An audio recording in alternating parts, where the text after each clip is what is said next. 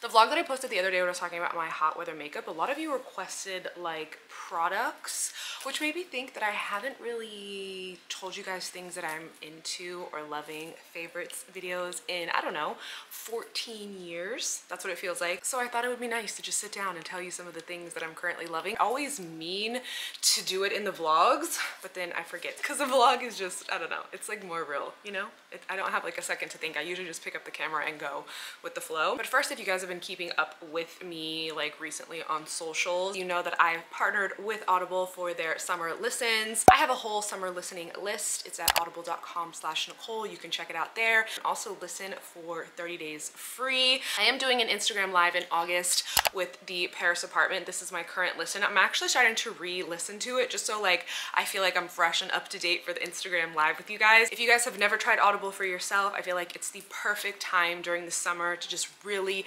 deep dive into an audiobook. It's perfect for road trips, those beach vacations, just anytime you feel like you need to transport yourself. I feel like that's what audiobooks are great for.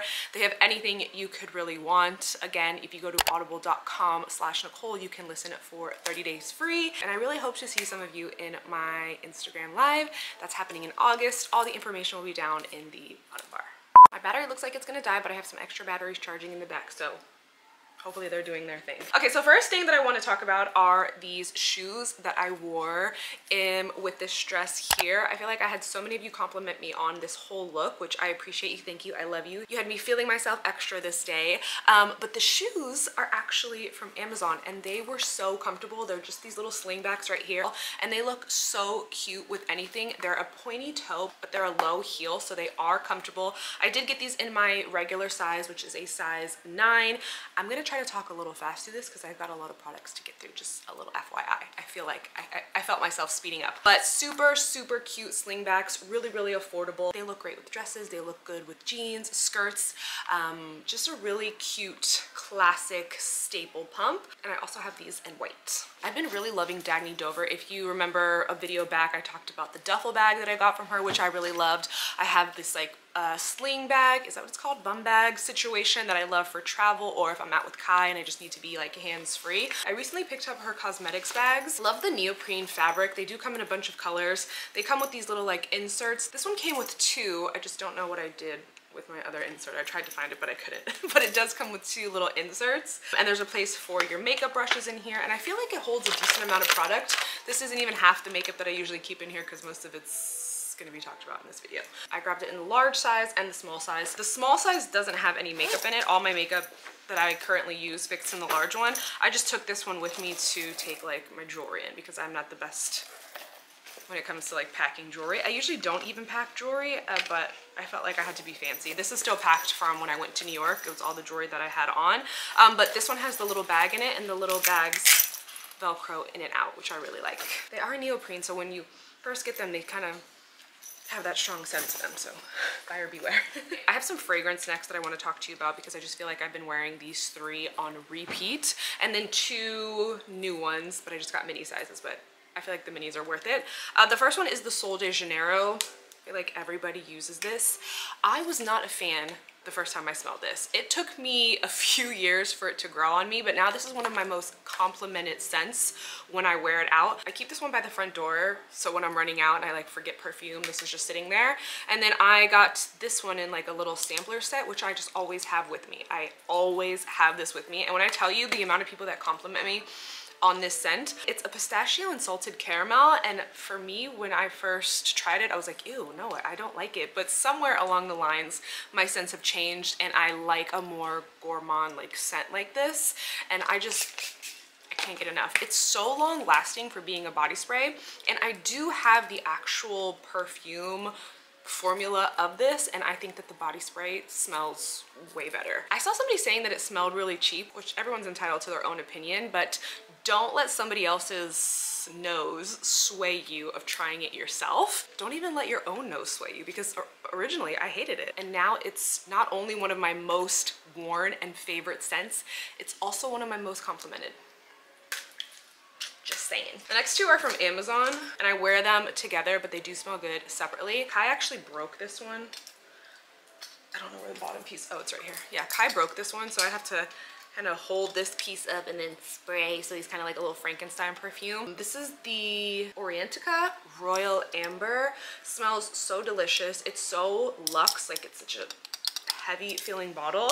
And then this one is Yara. I wear these two together and they smell so good. This is also one of my most complimented combos that I've been wearing, probably just because I've been wearing it a lot. I love the amber one on its own. It's very sultry, very sexy, but then this one is more on the fruity side. So when you spray the two together, the combination is just chef's kiss. And the two mini scents that I was talking about are from Kayali.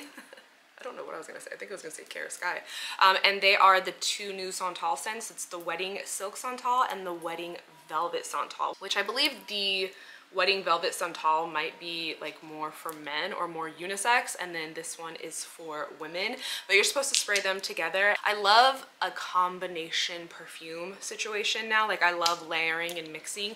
These two together are amazing. I love a Santal and this is a very gentle Santal I want to say but it is very staple Santal at the same time how many times am I gonna say Santal? So really, really love these. I did want to get the full size, but they were sold out, so Mama got the minis. Two really quick mentions for the Maylis body serums. I did a whole video on these, but the Revamp and the Resolve have been in heavy rotation in my body skincare routine. I mentioned in that video that I was getting a lot more sun exposure, which I don't even know if you can tell, but I'm currently sunburned.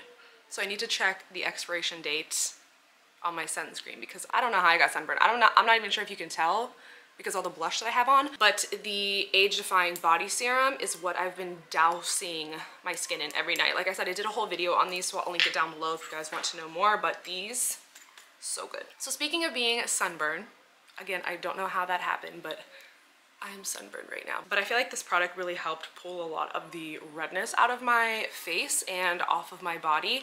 This is the Biafine, is that how you say it? I'm not, I'm not sure. Biafine it is a French brand. I got it off of Amazon and it's for like um, superficial burns or if you have like any rashes or I saw people talking about if they had uh, laser treatments done on their face that this was the cream that they were using. So I bought this a while ago and I had never used it and when I came in yesterday and I saw how red my face was, I was searching high and low for this. So I put this on and I woke up and felt like I didn't look as red as I did last night when I went to sleep and my face doesn't feel as inflamed as it did yesterday. I also put it all over my body, all over my chest, and I feel like it really made a big difference. This morning I also used the new Tower 28 Daily Barrier Recovery Cream, which I feel helped my skin a lot as well. I love the SOS spray. That's why I have the two. I'm pretty sure that this one is new from Tower 28, Daily Rescue Facial Spray. I use this um, every time before I work out and when I get out of the shower after working out. Since I do have rosacea, uh, I feel like it really helps to keep the redness out of the skin. It also really helps I gotta go get another light. Also, these little lights are a lifesaver. That's the only light that I'm using to film this video and really the only light that I have been using to film these videos. And I feel like he does a really good job at lighting you. Did I say everything I need to say about this? Just a great spray to have if you have rosacea or if you're sweating a lot or if you just want to protect your skin love this spray. And this is not the sunscreen that I was wearing yesterday. I probably should have, but I was in a rush because we had a little pool party and I just threw on the one that was sitting on my counter, which I need to check the expiration date on. But this is the sunscreen that I usually use. It's by Alastin. Uh, my facialist recommended to me last time I got a facial. I love a tinted sunscreen, but I also love a mineral sunscreen but I also love a mineral sunscreen and this is the best of both worlds. Sometimes I do my just like hot face makeup and I just use this instead of foundation with some blush, a little bit of concealer and I'm out the door. This is a 10 out of 10. I'm sure you guys have seen this serum spray and if you're wondering if it's worth it, it is 100% worth it. I saw it all over the place and then when I was in Fort Lauderdale, Car had it and I used it and I was like, oh yeah, days when I'm feeling like extra lazy or I'm just like burnt out and I don't even have the time to do my skincare routine, I will always spray this on my face just to give me like a little bit of boost of hydration and really wake up the skin. And it's just such an amazing spray. I love it with makeup. I love it without makeup. I do feel like it helps to keep your makeup on and it just gives like beautiful radiance to the skin because it's a serum spray. So I did just shake it up, but usually you can see like the little bit of oil sitting on top. There is a few different ones. This one is the white truffle spray. I do also like the um, anti-redness one as well. Like the, I think it might be calming actually. That one's also amazing. Getting a little bit more into makeup, these are the water tints that I have been wearing on my cheeks. I have them in two shades. I think they come in like four or five. Um, I don't know if they have names. But these are from Etude and I don't see a name on them anywhere, but it's the pink one and the red one.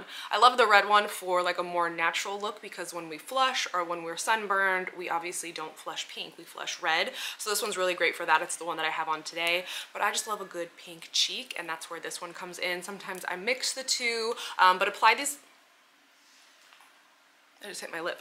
but apply this with a brush. Uh, that way your fingers aren't all stained. So I put that all over my cheeks and on my nose and it just gives this like really pretty natural looking flush. And then I go over with my makeup. And then on top, I do a little bit of cream blush. I love this one from Makeup Forever. I'm not sure if they still sell this one but I use it all the time so I thought I would mention it. I love this like purpley tone up in the corner here. I basically love all these pink shades. I'm not really over here yet, but I'm sure that I'll get there. I'm just more of a purpley pink red cheek kind of girl. And these are amazing super super pigmented. You just need a little teeny tiny amount. Um, so that's been my cheek combo lately is either is a, a water tint and then like some combination of these four shades right here and then on days when I'm like in front of the camera and I have a light in front of me, I will put a little bit of powder underneath my eyes. And the only powder that I'll use now is this Makeup Forever Ultra HD. This is just a little teeny tiny one because I'll never run out of this because you need literally the smallest amount. And I brought the brush out because I feel like the brush that you apply with makes a difference. This is from Royal and Langnickel. That's a lot to say. And it is the 270 brush, but it looks like this. And I take just the smallest amount of product, tap it on the brush, and then I kind of wiggle it between my hands. So it's like a very, very diffused version of the powder. And it looks so good. So, so good. So in the video, I was talking about how I don't really wear powders or bronzers. If I am wearing a powder, this is the powder that I'm wearing only underneath my eyes. So if you are a powder girly and you just can't let it go, try this, but be very light-handed and very delicate with your application and kind of keep it down in this area here in the triangle and not so much there under your eye where you might get a little bit of creasing. But I honestly don't even notice any creasing with this powder. It's so good. The foundation that I have on today is this one from Guerlain and it's in 3.5 warm.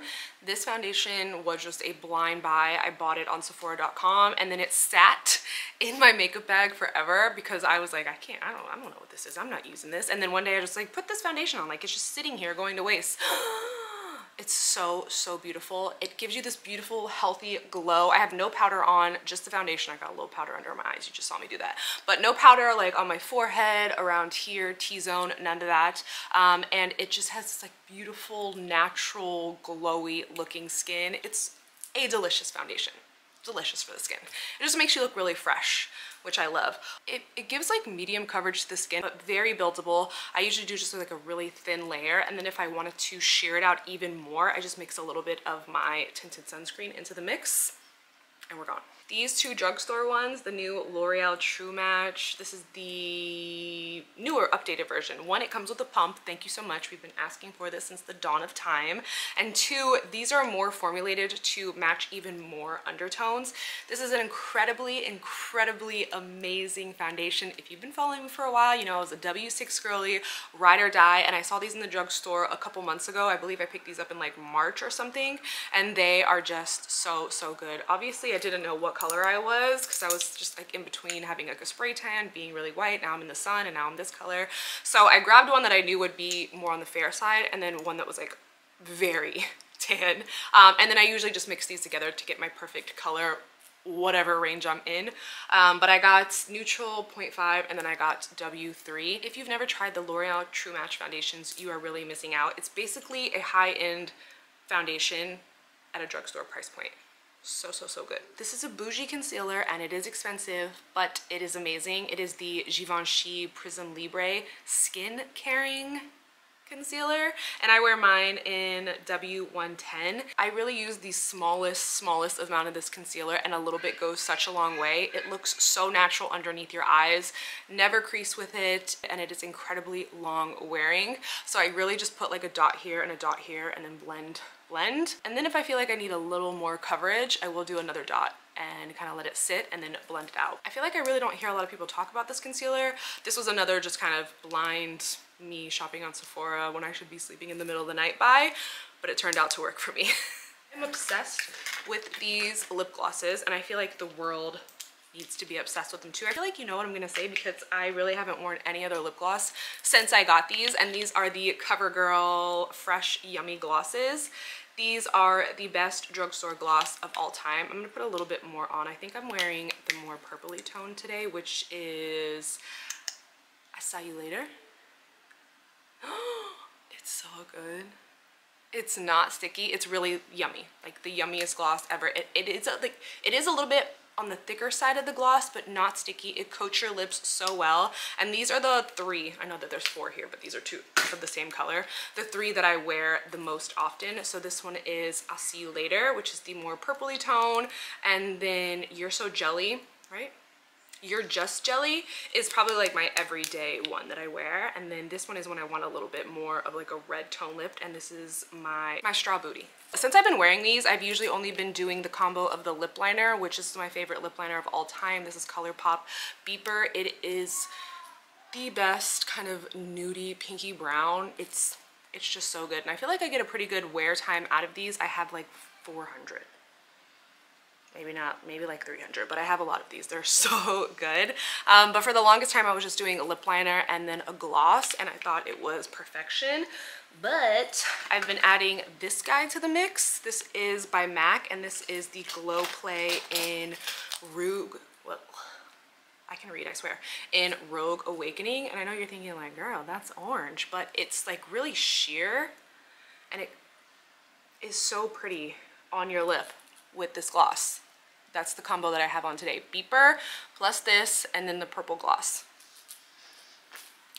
Do you see these lips? Do you see these lips? So good. But I do tap this on. Even though it's a sheer formula and it's not gonna be that bright of tone when you apply it, I just always do the pounds, pounds, pounds. These are the most underrated brow pencils ever of life. This is the Gimme Brow Volumizing Pencil from Benefit. I love these brow pencils. They are the best. I have not used another brow product since I started using these. Yes, I do use all these colors. The majority of the time I'm using 3.75, which is perfect if you have dark brows like me. I couldn't find it. I actually just found it when I was looking through my makeup. So I've been doing a combo of 3.5 and 4. And I have black eyebrows. Like they are black, but using 3.75 on them, um, I kind of am tinting them to be a lighter brown. And then I'll go in with four and just kind of fluff it through the brows just to give them more dimension, but best brow pencil of all time. You hear me? And then I don't know if you've noticed, but I've started wearing mascara again. Mm-hmm, mm-hmm. So the reason that I stopped is because I was getting lash extensions for a while and then I feel like after you get lash extensions, uh, your lashes are not their best. So whenever I have lash extensions and I stop getting them, I usually always take a break uh, from mascara because I'm just like, you grow, you do your thing. So then when I put mascara on again, I'm always pleasantly surprised at how long my lashes are. So I've been back into mascara. The Too Faced ones are actually amazing. These are the Better Than Sex one.